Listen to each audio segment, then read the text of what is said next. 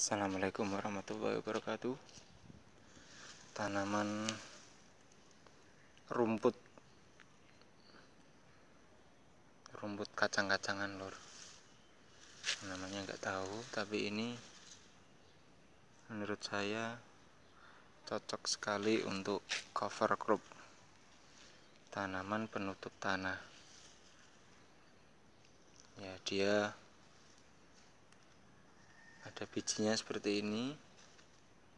Ini termasuk jenis polong-polongan ya lur. Nah, jenis kacang-kacangan. Tapi dia masuk ke kategori rumput. Nah ini menurut saya sangat cocok untuk cover crop karena dilihat dari perakarannya itu tidak dalam perakaran pendek ya. Terus dia hanya satu akar tapi pohonnya lihat sendiri dia sampai merambat ya.